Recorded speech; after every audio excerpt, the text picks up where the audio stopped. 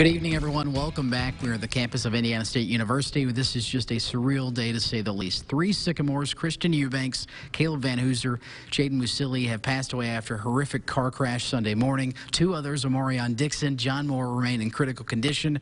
ISU President Dr. Curtis, AD Sherard Clinkscales, and head football coach Curt Mallory addressing the media a little earlier this afternoon.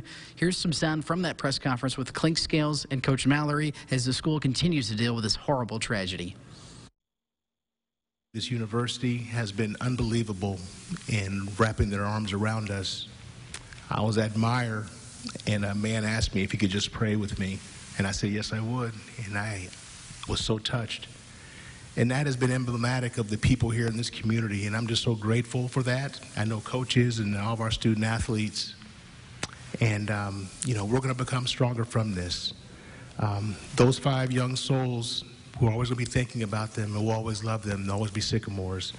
But I thank everybody that's been a part of our program and supporting us and praying for us.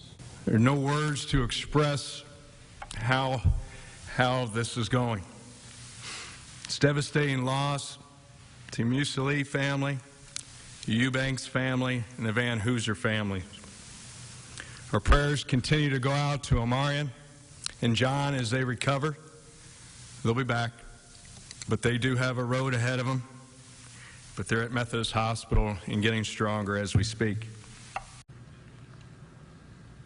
Now, the Sycamore football team did not practice today. They are planning to practice tomorrow. This is a team and a program that will open the season one week from Thursday against North Alabama. Coach Mallory adamant about opening up the season on time today. Aro Martello just visited with the football team on Saturday over the weekend. They were so excited to start the season and go to work in the MVC football conference. I can tell you that plans are certainly going to be in the works to honor these players when the football season begins. Maybe some helmet stickers, possibly a logo, a patch. We're not sure. We will keep you posted as the Sycamore family continues to mourn